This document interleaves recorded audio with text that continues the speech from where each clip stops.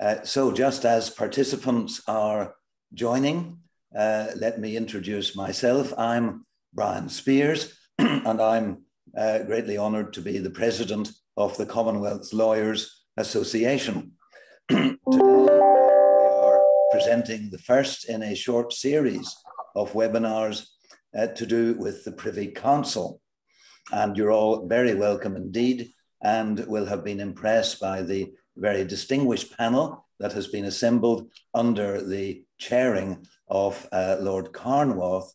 And we very much look forward to what the panelists and uh, Lord Carnwath have to say. The Judicial Committee of the Privy Council is, of course, the final court of appeal uh, for crown dependencies and overseas territories, and for many, uh, mostly Caribbean jurisdictions who regard the Privy Council as the, their last court of appeal. Uh, rooted in the history of the Commonwealth, it plays an important role in deciding a wide variety of cases and developing jurisprudence of importance, not just in those jurisdictions for which it is the final court, but across the Commonwealth. For that reason, the Commonwealth Lawyers Association is delighted to uh, present this webinar on the subject of new developments in constitutional and public law cases at the Privy Council. And we also look forward to the remainder of the series, uh, which will be presented in December and January, and look out for the publicity regarding those. The Commonwealth Lawyers Association is just back from its conference in Nassau, the Bahamas. One of the first, if not the first, in person international legal conference. And we were very pleased to have such a large turnout with excellent uh, sessions, both in their range of subject matters and in the quality of the speakers. We included there one on the Privy Council, and that engaged uh, many of our delegates and provoked much discussion and debate. Lord Carnwath was involved then and is involved today and uh, will guide us through these cases and uh, hopefully will bring some insights to the working of the Privy Council. And uh, Richard Clayton and Rowan Pennington Benton were also present in uh, the Bahamas and contributed uh, to many sessions as well as to the one on the Privy Council. Therefore, uh, colleagues, they are well placed to contribute to our topic today. And I look forward to hearing from them. And it's my great pleasure to bring you this greeting on behalf of the Commonwealth Lawyers Association and now to hand over to our chair for this webinar, uh, Lord Carnwath. Over to you. Uh, thank you, Brian. And um, it's very good of you to join us. And can I again congratulate you on what was a very successful Commonwealth Law Conference in Nassau, which we all enjoyed very much and learned a lot from. And it was very much due to your leadership that it was able to go ahead and be such a success. Now, um, welcome those who are attending this uh, session. The idea is to look in some detail at typical cases from the Privy Council and see what lessons we can learn about the way they proceeded and were dealt with. It's of some interest to me as having been a member of the Privy Council and sat on many cases, to find myself now listening to a critique by two distinguished practitioners. Uh, Richard Clayton QC and Rowan Pennington Benton are both very regular uh, participants and advocates in Privy Council cases. I think their, their details should be available on the website, but I think they're very well known to most people working in this field. Um, now, the, they've selected five cases. I'll just go through them quickly. The first is Commissioner of Prisons and Seepersad, which is 2021 UKPC 13. Uh, Richard Clayton will start by discussing that. We then have a case called Silly Creek Estate and Marina Limited against the Attorney General of Turks and Caicos. That's 2021 UK PC 9.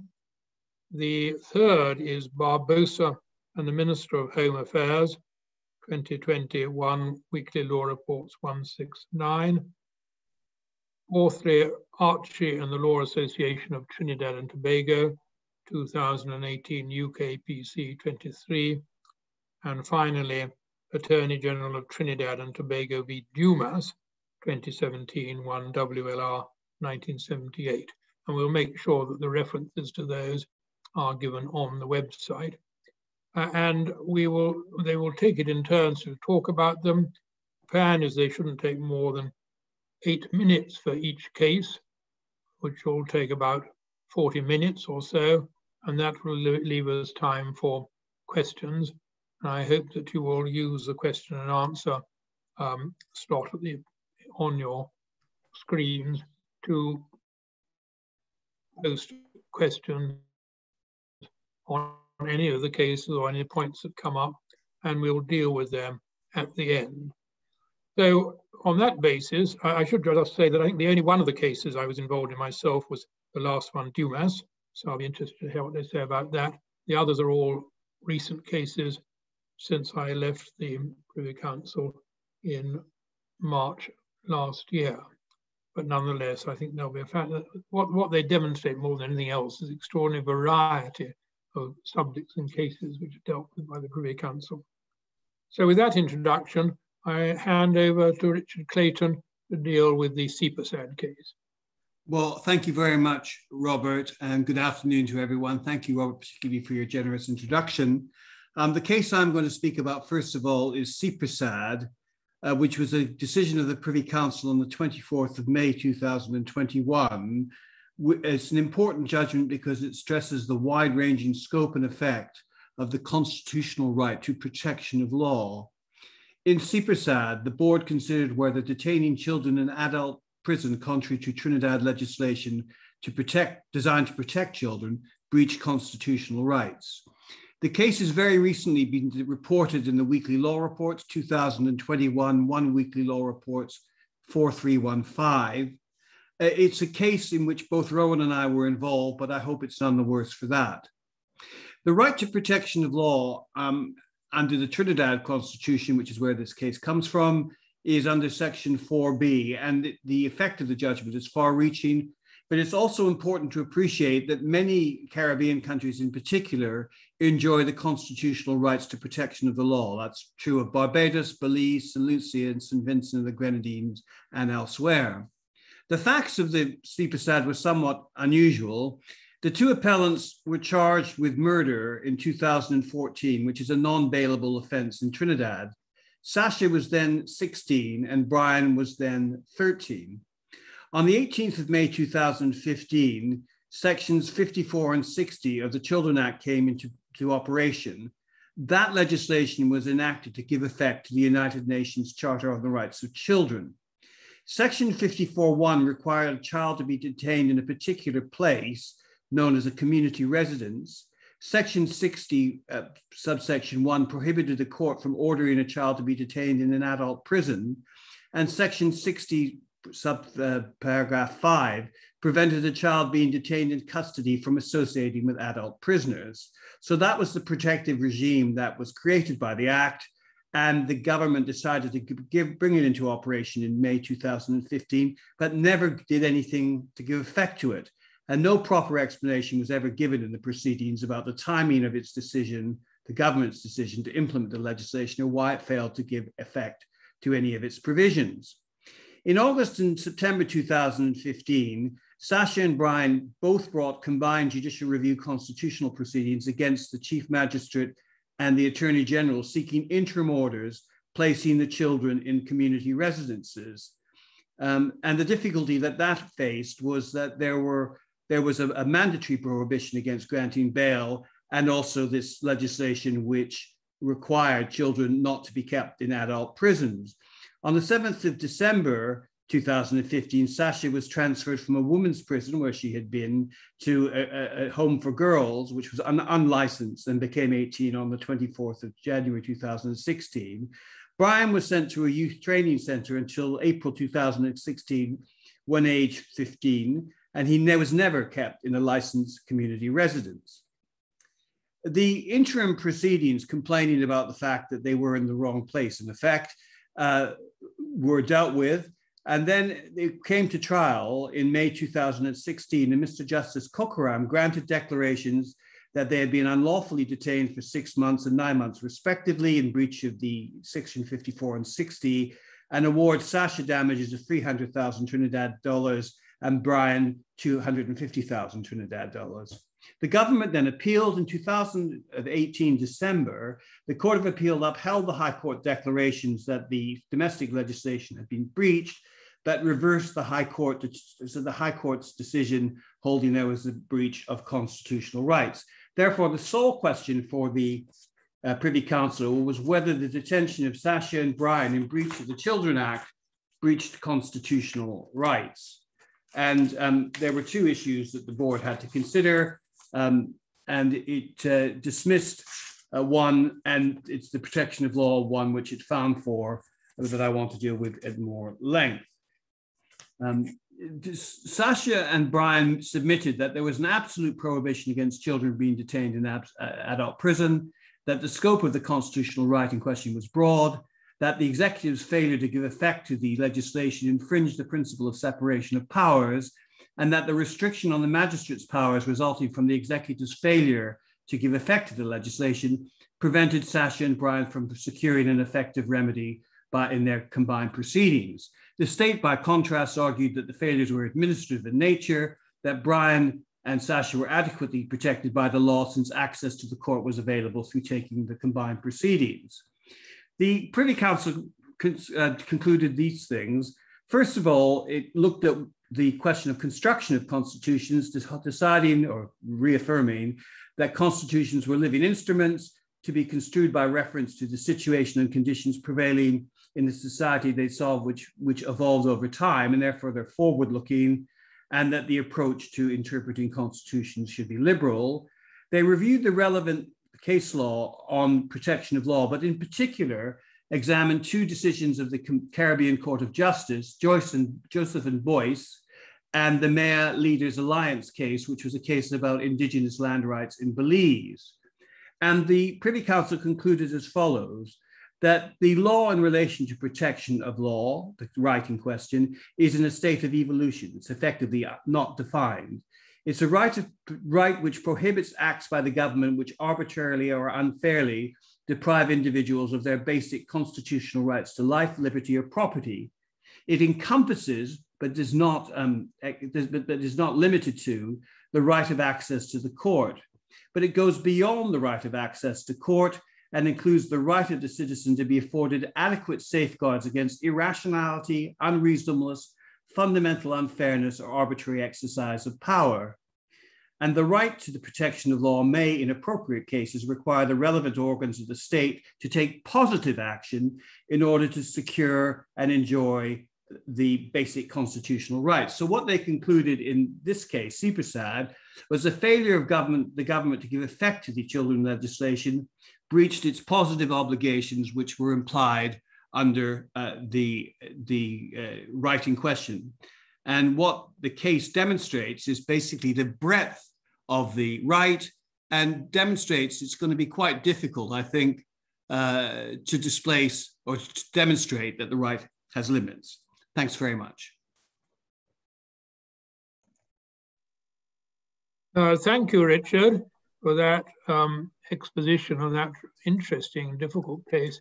But we'll, we'll be able to talk about that later. But we're now going to move to something completely different with the Silly Creek estate, which is all about development of land in a national park.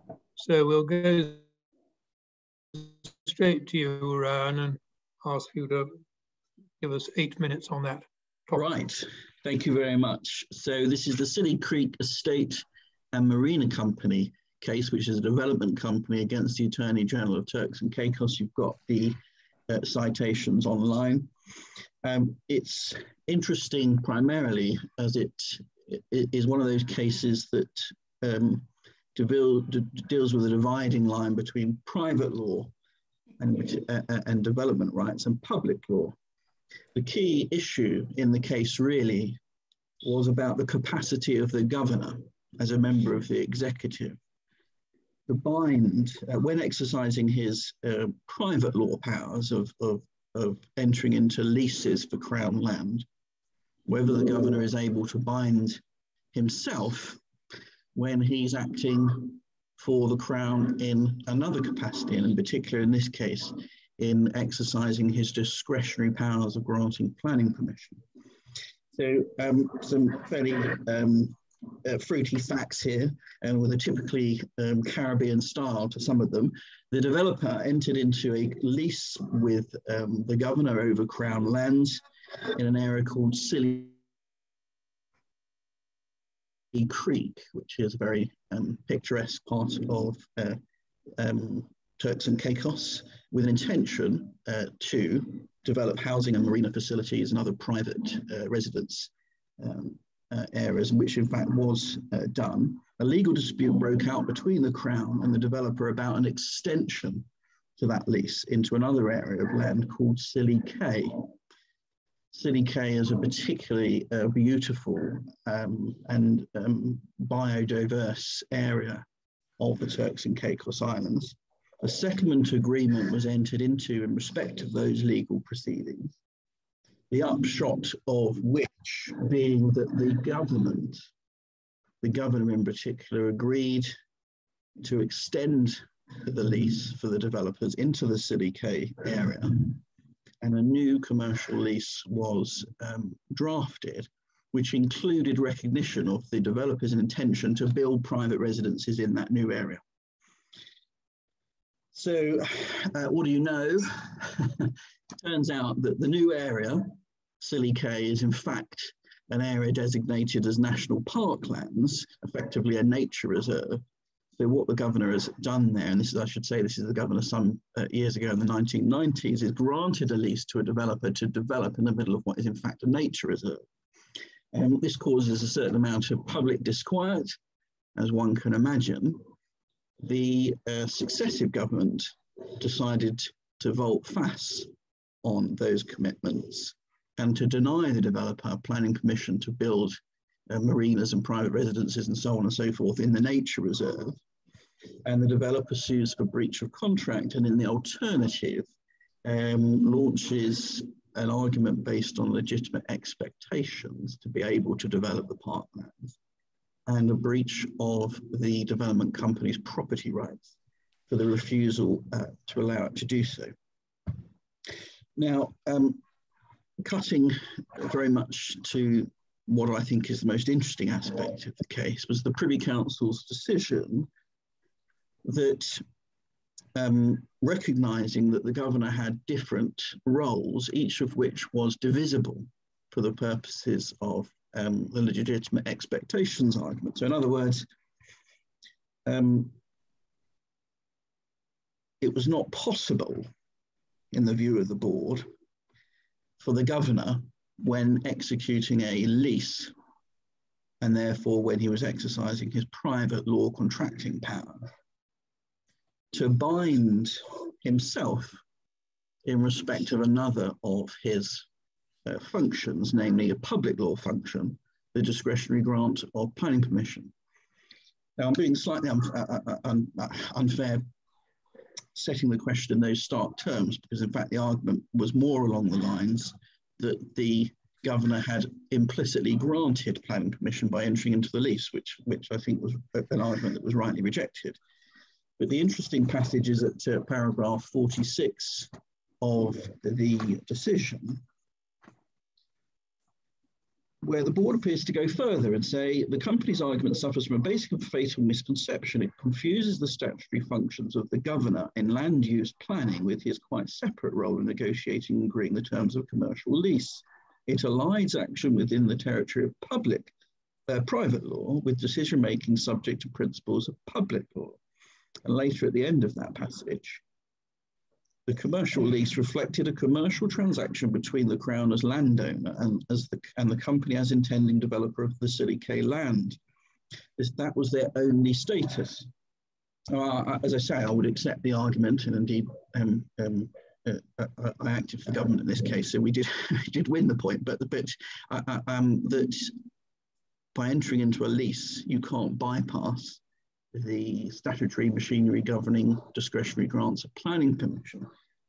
But it does raise an interesting question as to um, the circumstances in which the government, the Crown, by entering into a contract, could create a legitimate expectation or even an estoppel argument against the later refusal of development permission or other rights promised in that contract. Because of course there is no uh, way the developer in this case would have entered into that commercial lease if it wasn't on the basis of a promise that it could actually develop the land.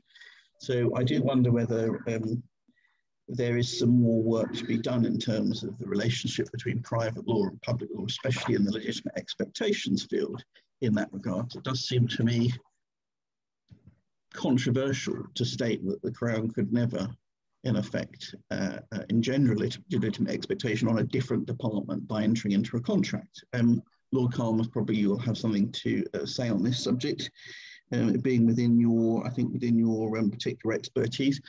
Um, am I eight minutes? Yes. all right. There is another. there is another interesting point um, on um, legitimate expectations and the peaceful enjoyment of property but I'll come back to that if I have time. So I don't want to run over my um, eight minutes. So I'll leave it there for now. Right, thank you very much. Mute myself.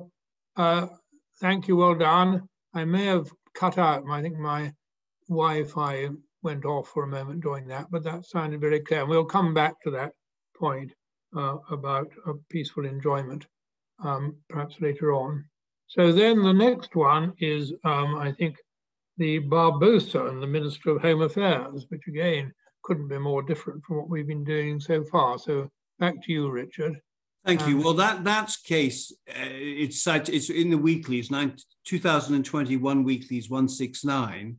This case, as Lord Carnwath has said, is, is, is different. It's actually an interesting example of the role of the common law and how that plays into constitutional rights. Um, because in this case, it was said that the constitutional rights did not derive directly from the Constitution, but were based on the common law of Bermuda. Frequently, different and difficult and interesting questions uh, arise in the, in the Privy Council about how the common law impacts on constitutional rights. This is particularly re relevant in jurisdictions which state that their common law is the English law, which is the case in the Bahamas, for example, and Gibraltar. And the facts of this case were that the, app, the appellant and his wife wanted to adopt a, a niece from the Philippines whose mother had died. They were refused on the basis they were not resident of Bermuda within the meaning of um, 2006 legislation. They issued proceedings in the Supreme Court of Bermuda uh, seeking various forms of constitutional relief. But the essential question for the board was first, was there a common law right to belong to Bermuda, which the appellant enjoyed? And secondly, whether the appellant belonged to Bermuda for the purposes of Section 11 and 12 of the Bermuda Constitution, despite the fact of not falling with those categories deemed to belong under Section 11, subsection 5. So, in other words, whether common law conveyed some sort of extra category that had to be read back into the Constitution. The foundation of the appellant's case was that he belonged to Bermuda as a matter of common law, and that resulted from the speeches of, um, of Lord Bingham and Lord Hoffmann in the Bancoult number two case, 2009 appeal cases 453, where Lord Hoffmann said at paragraph 44, at common law, any subject of the crown has the right to enter and remain in the United Kingdom whenever and for as long as he pleases, the Crown cannot remove this right by an exercise of the prerogative. This is because since the 17th century, the prerogative has not empowered the Crown to change English common law or the statute law. So that was the bedrock and an important constitutional principle, bedrock too. So the appellant submitted that he possessed at common law the the very same rights of freedom of movement, freedom of entry, and immunity of expulsion that was protected as a matter of constitutional rights by Section 11.1 of the Bermuda Constitution. However, the Privy Council held that the appellant had no relevant common law or other right which informed the proper interpretation of Section 11. They held that the concept of belonging to an overseas territory does not derive from the common law, but from the local constitution or from the local legislation. They reached that conclusion by a complex series of uh, reasons, which I will not trouble you with to discuss now. Furthermore, they decided that Mr. Barbosa could not appeal to the common law itself to modify the meaning of the Constitution arrived at the common law principle of interpretation. So, in other words, you just can't graft on common law rights um, in the way that the appellant sought to do in that case. They therefore concluded that the Bermuda Constitution Order 1968 did not affect the appellant's position. Prior to the Constitution, rights of abode in Bermuda were attached to Bermudian status. The Constitution did not remove or displace any common law rights or any other relevant rights in Bermuda. So there was no question here of a saved law or anything of that kind. And they concluded that individuals in the position of Mr. Barbosa at the time of the enactment of the 2006 had no Bermudian status and no re relevant common law rights. So there was nothing to hang your hat on which could bring the case back within the realm of constitutional rights. So it's a very interesting example of which there are many and many important cases arise out of this where appellants seek to rely on the common law to bridge um, the, a, a, gap, as they contend, um, in, the, in, in, the Constitution. And it, it also is worth pointing out that normally constitutional rights have to be read broadly. And so it's not an impossible task by any means to rely on the common law, but in this case it failed. Thank you.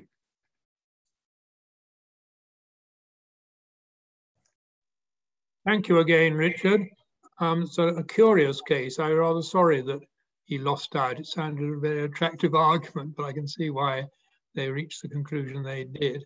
Um, I, I, we're still waiting for questions and answers. Please, if you have any questions or any comments on any of these cases, do use your Q&A function. Um, so, but then we'll come back to that later. But for the moment, we're moving on, I think, to the, the very unusual case, yes, of Archie and the Law Association of Trinidad and Tobago. And over to you again, Rowan. Yes, thank you very much, uh, Lord Carnwath. Um, I think actually the board did pass some uh, comment in the Barbosa, uh, uh Barbosa case um, to the effect that um, perhaps Parliament ought to look at doing something about the uh, position. But um, of course, what you do about gaps in the Constitution, a very difficult point. But um, let me get on and deal with uh, the uh, Chief Justice case. So it's Chief, Chief Justice Ivor Archie against the Law Association of Trinidad and Tobago. As uh, you say, my lord, very interesting set of facts indeed, and, and, presumably quite an unusual set of facts. I think it's fair to say a number of what I would advisedly refer to as rumours about the Chief Justice surfaced in various leading uh, newspapers. Um, I think it's fair to say, as someone who's done quite a lot of work in Trinidad, nobody likes a good bit of gossip more than the Trinidadians.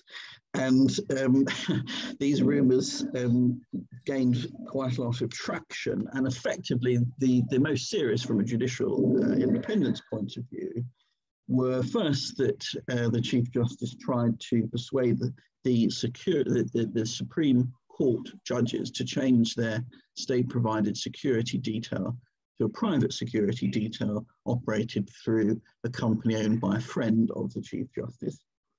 And secondly, that the Chief Justice had recommended that same friend for um, state subsidized housing, which is a very um, troubled uh, area of, um, debate um, in, in Trinidad. And I should say at the outset that neither of these allegations have ever been proved, and that's not what the case is about.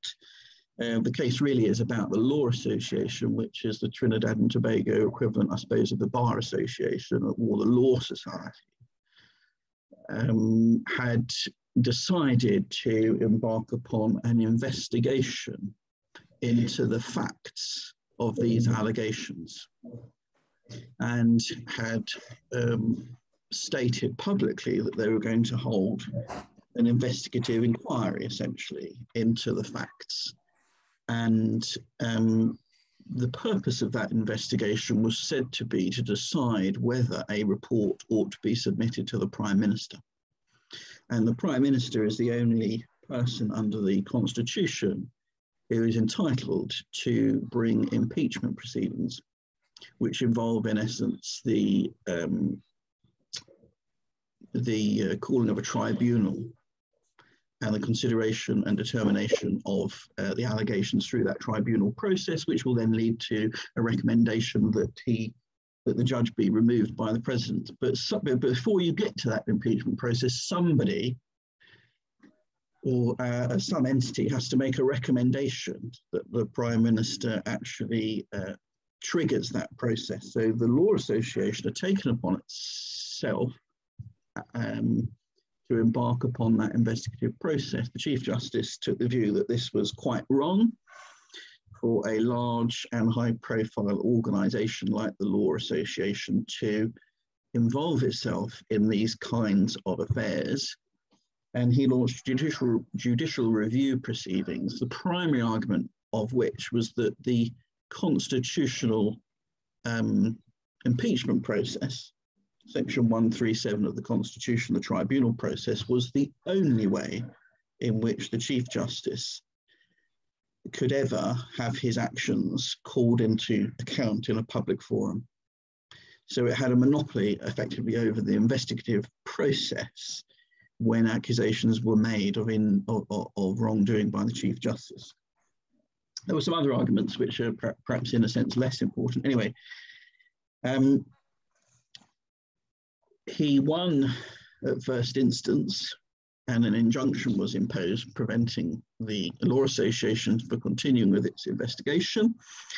He lost in the Court of Appeal, each of the Court of Appeal judges writing a very detailed and, in some respects, quite very interesting and colourful reasons why um, the Law Association shouldn't be prevented from um, conducting its investigation. Um, the Privy Council upheld the Court of Appeal. The judgment was given by Lady Hale. And effectively, it was said that the Law Association had the same right as any other private person or organisation to look into and conduct its own assessment of allegations that have been made against a public figure. The analogy during, uh, during argument that gained traction was with a newspaper which um, may decide to embark upon a piece of investigative journalism. And it could, during that process, speak to witnesses and evaluate the evidence and form a view for themselves, which of course is not binding on the state. It's not binding on the prime minister, doesn't necessarily affect in any way the formal impeachment process and therefore there was no restriction on the Law Association from conducting its investigation. I think it was the decision slightly supported on the facts by the limits, the self-imposed limits that the Law Association have placed on itself in terms of the investigation. But um, just standing back from the case, I think one of the things that I wouldn't say troubled me about the case, but but but that I thought might require further consideration and development in due courses. Well, what do you do when there is a very powerful private organization or quasi public private organization? Let's think in the private sphere of companies like Facebook or Twitter, which have an enormous uh, reach what happened, you know, are there any sensible limits? And if so, what are, is the legal basis of those limits on organizations like that that possibly hold very strong sway in the public opinion from embarking upon what will be high profile investigations of serving senior members of the um, well, I was going to say the judiciary, but it could apply outside of that too. And I did wonder whether one of the things we might discuss is actually, well, are there some sorts of, when does the analogy between a, a newspaper in conducting an investigative piece of journalism and a large organization going out there and potentially really causing some damage to somebody's reputation by almost taking on the state regulator's role. So um, that's what I have to say about that case. Yes, thank you, Ryan. It's an interesting case. Mm. I don't know, do we know what actually happened to the inquiry? The Privy Council said it could go ahead. Yes. Um, I know that Chief Justice Archie was actually at our conference in, in Nassau. He, he is, yes. Well, what happened is um, the investigation went ahead and concluded, um, th then it went to, uh, the findings went to a panel of two external senior counsel to advise on whether there was sufficient um, to send the um, point to the Prime Minister. Um, I think there was a divergence of opinion amongst those two senior counsel, but in the end, the Law Association did send its report to the Prime Minister, who declined to uh, commence impeachment proceedings. And then um, the Law Association or somebody else, I can't remember who, in fact, it was, it was, it was the Law Association, um, then sued the um, Prime Minister. And uh, for, for not for not starting the impeachment process or for not giving satisfactory reasons for not doing so. In fact, in fact I can't may have had something to do that actually, but uh, and then um, um, they won that actually on I think a failure to some sort of quasi procedural point about not not looking at some of the evidence. So then he looked at the evidence again and came to the same conclusion. That's where we are. Well, I sorry, I, I, thought there might be a, cl a clean answer, but clearly not. Well, it is a anyway, clean answer. It's just a long one. He, he's still in office, and he seems to be carrying on very well, as far as I know. Yes. So, yes. um, so we then. Well, thank you very much for that, and then we come to our last one, which is Attorney General of Trinidad against Dumas, and for this we go back to Richard Clayton. Uh, thank you very much, Robert. Well, Dumas, the reference for that is 2017 One Weekly's 1978. This was a decision um, to which uh, Lord Carnwath was party, uh, and he may have views he chooses to express, he may not. Um, the case uh, itself concerned a former head of the public service of Trinidad and Tobago who issued an ordinary civil claim seek, uh, seeking relief against the Attorney General, um, essentially seeking declarations that the phrase qualified and experienced in the disciplines of law or finance in section 122 subsection 3 of the Trinidad Constitution was a requirement for, uh, for someone to be appointed to the Police Services Commission. There was a challenge also to whether the two specified persons appointed by the commission by the president met the requirement under section 122.3, which is why uh, there was uh, seeking assistance of the court on what the phrase meant.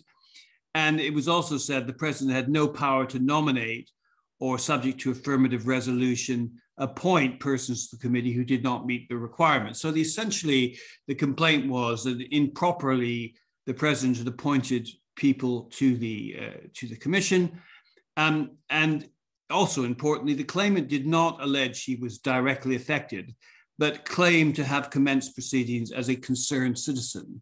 That is a feature of many of the cases, at least that I've seen from Trinidad. Uh, in the High Court, on a preliminary point uh, raised by the Attorney General, the judge struck out the claim on the basis that the courts should interpret the Constitution only where a claimant brought proceedings um, under Section 14, which is the constitutional right to uh, relief under the Trinidad Constitution, and only in relation to the appellant's own rights. The Court of Appeal, however, took a different view. They said that in addition to a claim for personal redress under Section 14, it was open to the court in the exercise of its supervisory jurisdiction and as guardian of the Constitution to entertain public law, sorry, public interest litigation for constitutional review, provided as was required by judicial review applications under the Trinidad Judicial Review Act 2000, that the public interest challenge was firstly bona fide, secondly, had a real prospect of success, and thirdly, was grounded in a legitimate public interest. And the Court of Appeal found that the claim satisfied all those three requirements. When the case became before the board, Lord Hodge, the deputy uh, Supreme Court, I think he was then still the deputy Supreme Court judge, um, pointed out that the appellate was not seeking um, redress for a contravention of a constitutional right in relation to himself and therefore couldn't rely on Article Section 14 of the Constitution. He had to look elsewhere for the law in relation to the jurisdiction of the court to act. And he decided the case by reference to the following particular points, which were important. He emphasized that Section 2 of the Trinidad Constitution, in common with many Caribbean constitutions, states that the Constitution is the supreme law of Trinidad, and therefore held it was the task of the judiciary to uphold the supremacy of the Constitution and the rule of law. He applied a Privy Council case, uh, Bobb and Manning, which had cited a 1985 judgment from the Supreme Court of India, the judgment of Mr. Justice Bhagwati in a case called The State of Rajasthan and the Union of India. Uh, he also considered the question, which um, is interesting, at least from an English lawyer, as whether the Judicial Review Act of 2000 superseded the procedure for declarations under Section 14. Um, and he was really considering there the rule of O'Reilly and Mackman, which is introduced, at least in broad terms, an exclusivity to public law proceedings being taken a particular um, um, form of shape. But he decided that the 2000 Act did not supersede Section 14. In other words, they were parallel jurisdictions. And he decided that because Trinidad has a written constitution, which must be interpreted, and the English law does not have any equivalent to Section 14 of the Constitution, which would exclude the general rule in O'Reilly and Mackman. And just to remind you, we in the United Kingdom have constitutional principles, but we have no written constitution in any obvious sense. Um, in the, uh, his written case, the Attorney General also sought to raise new arguments which had not been presented to the Trinidad courts. Um, it's worth noting that the board rarely, as I said, agree to hear submissions de bene esse, and it's rare for them to consider submissions not presented to the domestic court earlier. But because the appeal raised constitutional issues, the board was satisfied there was no substance in the new argument, and therefore Mr. Dumas was not prejudiced. The board dealt with them briefly, and they dealt with a number of cases, the most interesting of which I think is this one. Um, the Attorney General claimed that in nominating and appointing candidates, the court's jurisdiction, the ability of the court to speak, in effect, was ousted by Section 38.1 of the Constitution, which says Subject to Section 36, the President shall not be answerable to any court for the performance of the functions of his office or for any act done by him in the performance of those functions. However, the board, or Lord Hodge on behalf of the board, said there was a complete answer to this claim that there was effectively an ouster of the ability of the court to speak on this question. The statutory protection given to the president under Section 36 did not prevent courts from examining the validity of their acts it's long been recognized that the statutory ouster clause, um, which provides that determination shall not be called into question, does not protect a purported de determination from a legal challenge, which is ultra vires, and is therefore nullity. And reliance was placed on the famous case of Anisminic. Um, also, uh, that approach had been taken in a case called the Attorney General and Phillips, where the board considered the validity of a pardon by the president um, which uh, in relation to uh, uh, the armed insurrection of July 1919, and Lord Woolf on behalf of the board rejected the ouster. And the other thing worth emphasizing, I think, is that uh, there's been since, uh, well, very recently indeed, a very important United, United Kingdom Supreme Court judgment on the Anisminic principle, the Privacy International case, which is to be found in 2020 Appeal Cases 491, where a seven judge panel um, decided the case where Lord Carnwath gave the majority judgment, uh, uh, in, strongly affirming there was a fundamental common law presumption that the supervisory role of the High Court over other adjudicative bodies, even those established with the Parliament with apparently equivalent status and power, and that that presumption could only be excluded or displaced by clear and explicit words. And that's all I have to say on that court case. Thank you very much. Thank you very much indeed, um, Richard. Uh, uh, I didn't really have anything to add on that Dumas case. I think um, we felt it was a reasonably clear result. But it's always very unsatisfactory where you find yourself in the Privy Council dealing with a case which had begun sort of three years before, and you're still simply arguing about whether the claimant has a right to bring the case at all rather than the, the substance of it. Um, but now, in terms of questions, we've got um, there was a question on the Archie case, if I can find yes. it. Um, did you see that? It was suggested yes. that it had a statutory mandate. Rowan, do you want do you see the question? Can you yes. just read out the question and there's a there's a there's a, a number of interventions on on on this case which I, I thought there might. Well, I don't want to take more. There's, there was the one which was there's one yes. All right, let me deal with that one then. Yeah. Um, whether it was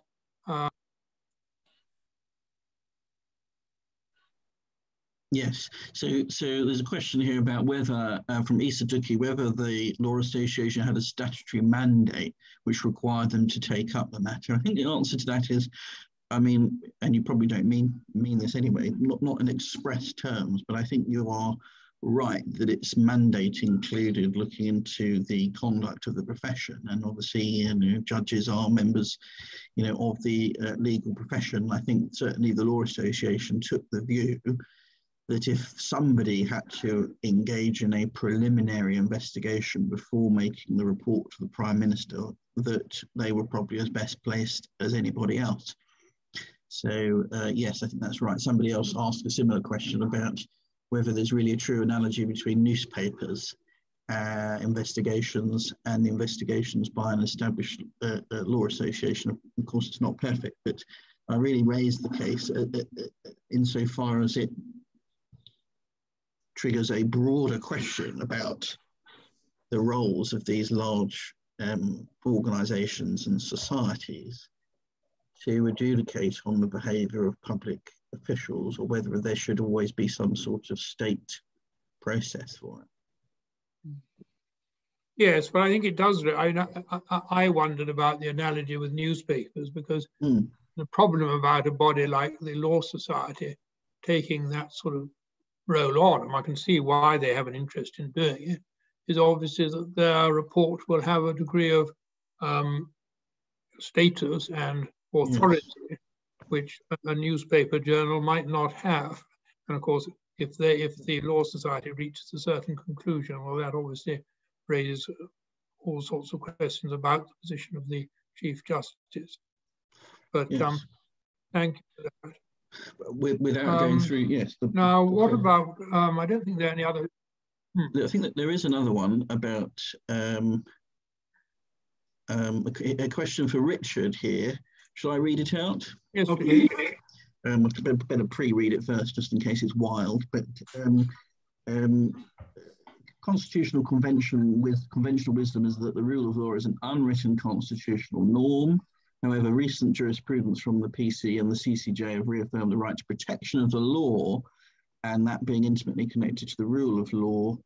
Um, would you say that the right to protection of the law is essentially the same as the rule of law, couched in slightly different verbiage? Or um, um, otherwise, what are the sensible limits to, to, to, to one can place on this um, Protean concept? I think is how how, how you push it, Richard.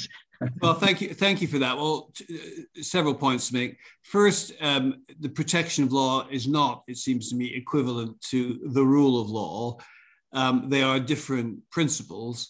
Uh, there is, of course, a debate as to what one means by the rule of law, and the famous debate, at least to those of us who think it's a funny one, between the fat theory of the rule of law, either which doesn't have substantive content, or the thin rule, which is purely procedural and a dicey, as Dicey might have said it was. Um, but it seems to me the role of the protection of law is much more specific than that. That said, I mean, I really, um, there obviously will be limitations to the extremely broad uh, group uh, principle which the Mayan leaders case expressed and which the uh, Privy Council has now endorsed twice in the Maharaj case and then in C- uh, So um, the difficulty with a protean right or an undefined right is precisely that. Um, it's quite difficult for a defendant. So I think the answer is that that the that, that they'll every case ultimately has to be fact specific. Um, it's I think the most interesting element of the right to protection of law is the point which Seepersad succeeded on, which is the positive obligation on the state to basically put its house in order and uh, clearly, that wouldn't bite on every uh, complaint that someone makes about their constitutional rights. What was striking about the Seepersad case was so many things were wrong. Um, one of the things that was wrong was a legislation was introduced to give effect to the United Nations Convention on the Rights of the Child. That was ignored. The children were a special category of protected people. That was ignored. Um, although, in a valiant um, and attractive argument, the Attorney General sought to argue that the right of access to the court alone um, was sufficient. The reality was, um, various comments were made by the justices in the course of um, the, the, discussion, that there was nothing that was achievable in the rights, in the litigation, which was to try and move the children into something other than um, an adult prison because um, although they were both equivalent pieces of legislation, both had special constitutional protection under Section 13 of the Trinidad Constitution, um, effectively the Trinidadian courts said the, the obligation to keep a prisoner, a suspected prisoner for murder in custody prevailed over the fact that you couldn't put them in the place designed for children and that that didn't attract the support of the Privy Council. So, um, you know, in a way, strong cases make strong law, uh, and it won't be every case that is quite as powerful as mm. the um, as as the Prasad ultimately was. And, I, and, it's also worth saying, I think that.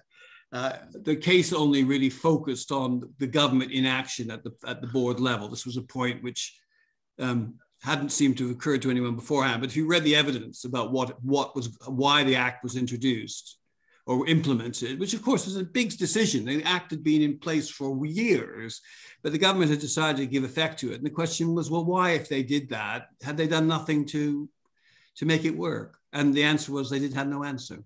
So it was a, a strong case on the facts. Not every case will be. Well, yes. you, you, you, you won it again there, Richard. Can I ask Lord Carnwath a question? Me, Rowan, you're asking me? Yes, far away. Since you're, since you're here, well, I just want to come back to the Silly Creek and case and this yes. point about legitimate expectations. And I know, I know that this is a subject that, um, at least at one stage, you, you were interested in. And I, uh, um, I'm thinking back to your judgment in the CLICO um, decision, which was 2016 that the United policyholders decision all about yeah, whether yeah. public sta- public statement that the government would basically um, top up people's banks accounts after a run on the banks to put it well. Yeah. It's a slight it's a slight um, thing. Anyway you um, you gave a, a, um, a, short concurring judgment in that in which you expressed opinion that maybe the legitimate expectations had um, lost its way a little bit and ought to get back to first principles. I don't know if you um, want to say anything about that in the context of the Silly Creek case. Well, I think, I mean, that judgment, which, as you say, was a concurring judgment, not all that short. Um, interestingly enough, I was originally asked to do the lead judgment in that case, but I got rather carried away by the problems of analyzing all the things that have been said about legitimate expectation. And I tried to reduce those to some sort of principles. But yes. my colleagues were more interested in dealing with the facts of the case, which was understandable. And so, in fact, in the end, Lord Neuberger wrote a judgment on that. But um, I, I, I mean, I do think it's difficult. With I think what I tried to say in that case is a legitimate expectation, in fact, covers a number of different concepts which apply in different areas, and I, I stand by that. I don't think that particularly helps you in your Silly Creek case, because there the problem was the interaction between public and private law. Yes. And, you know, I think it's obviously right that the um, decision on a major planning issue in a national park should be decided objectively, should take account of all the views of objectors and so on, different people, uh, and that it should not be prejudiced by a commercial decision on the grant of a lease. So, you know, I didn't have any difficulty with that uh, no. decision. I think, that, I mean, I think would one would expect though that the government in entering into a lease would make pretty clear in the preamble to the lease or something that it was without prejudice to the decision on the planning or and whatever commercial arrangements need to be made to guard against that should be there in the contract or the documents. Um, it may be on the facts of that case that wasn't made sufficiently clear, but I think the, the, distinction between the private and public law elements is a very important one. So the case itself didn't surprise me. Right. Can I raise a question, which I see is a question about the savings clauses, because that seems to have just come in, uh-huh. which I think raises a very interest raises the question about whether whether the Privy Council should go back to Roodal. Um, so I just wanted to say something very hmm. briefly mm. about savings clauses, if I may. Um, savings clauses have been very important to the Privy Council because the Privy Council has changed direction more than once. And of course, um, dissatisfaction with the approach that was taken um, was an important factor in the creation um, and establishment of the Caribbean Court of Justice. Um, uh, the question that was raised is: Will the will, will the uh, Privy Council uh, go back to the Roodal judgment, which was a judgment of Lord Bingham's principally, or will it retain, in effect, the Matthews judgment, which is where remarkably a seven panel Privy Council overruled a five panel Privy Council within 14 months, I think, of the original decision. And I think the answer to that is, is, is, is really, well, three points worth making. The first is that there is a, an issue where this the savings law has been sidestepped, which is going to come before the Privy Council in November, a death penalty case where they're relying on the preamble to escape this whole question of the savings penalty, savings clause. Secondly, the Caribbean Court of Justice has delivered two important judgments on um, the, the, savings clauses and essentially emphasized, which strikes me as must be right, that the purpose of the savings clauses was to deal with a period of transition when the Caribbean constitution started and was not to permanently immunize pre constitutional legislation.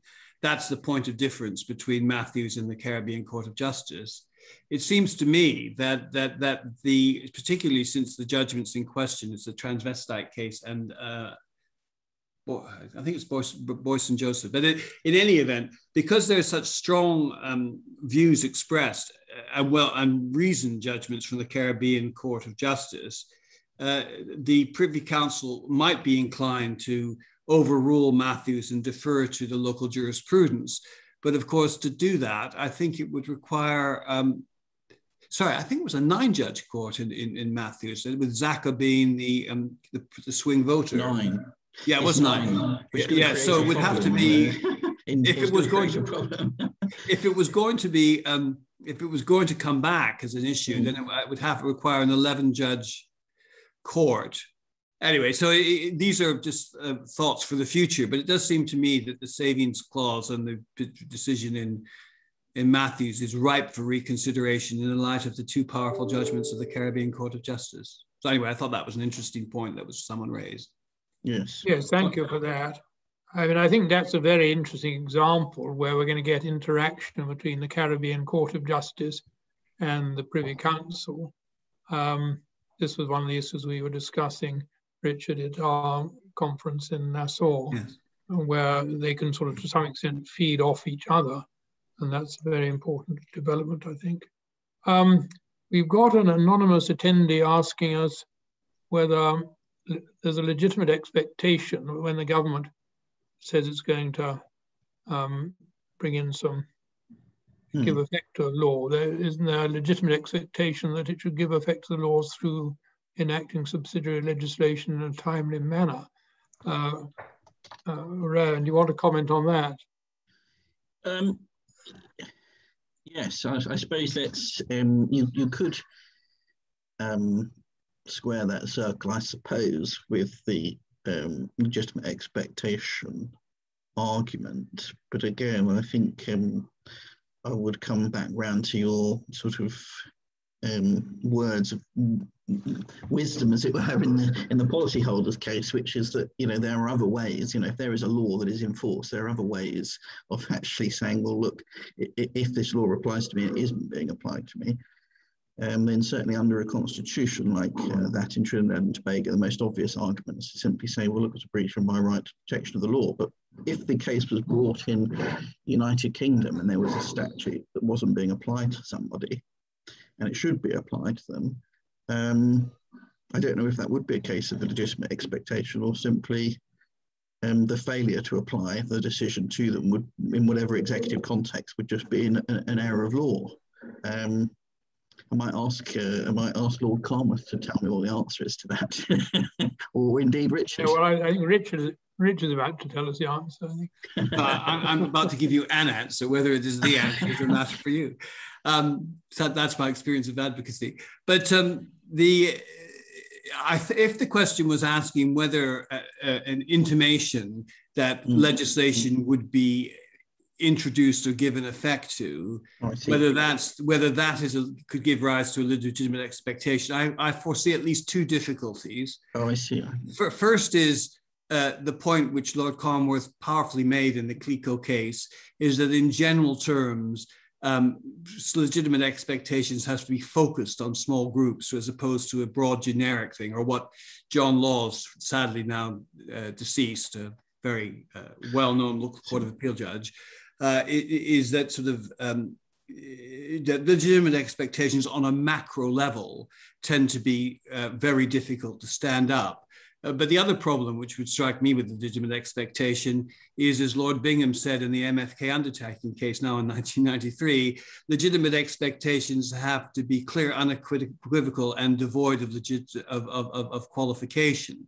And the trouble with a general statement of the government uh, about what it might do is um, very often uh, there'd be a successful argument in effect. Well, they may have said that, but does it really mean exactly what you claim it to be? So there's a number of difficulties, as it seems to me, about a legitimate expectation based on a, a statement that they would do something legislatively.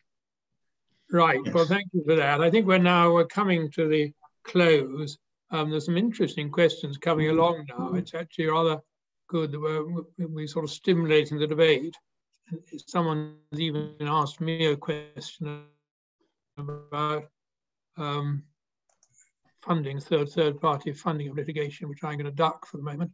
Um, and someone said that the question of giving effect to legislation in a timely manner is addressed in a case called Sure. That's from. Um, I'm afraid I'm not.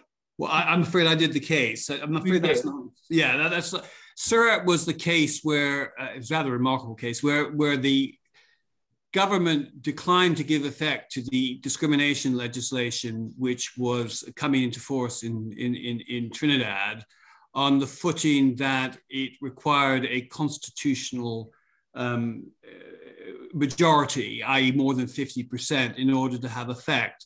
The Privy Council gave that short shrift but in Surratt number two, a case which uh, didn't work exactly, um, they still had done nothing. And uh, my enthusiastic attorneys wanted to reply back, and we got pretty short shrift from Lord Bingham about that. So uh, it doesn't really say that you can't um, you can't dither about introducing legislation. Surratt was really principally about the fact that um, in order to say that it was a constitutional uh, majority, that it, it, was difficult to say that could be right when the discrimination legislation covered uh, the private sector. So, I mean, why on earth would that require a constitutional amendment? Um, it was also an interesting case because Lord Bingham, in uh, remarkably a dissent, um, was thought the case was really about the Jamaican gun case, the famous Jamaican gun case, and about security of tenure of judges, which the other four judges rejected, and the the in fact the leading judgment was given by Lady Hale, she or Baroness Hale as she then was. So I don't think it's, I don't think Surratt had the effect that you're suggesting it did. Right, well, thank you for that. I think we've now come to the end of our time. Um, it's it, what is obviously clear is that this discussion has stimulated a lot of interest. We seem to have over 100 participants apparently still. So uh, as you've heard, there will be another seminar on a slightly different subject in December. But I think, I'm sure Richard and Brian would welcome comments on how, what these sort of seminars should cover and what are the most useful things to discuss. Certainly I found it very interesting yes. and look forward to participating in the future.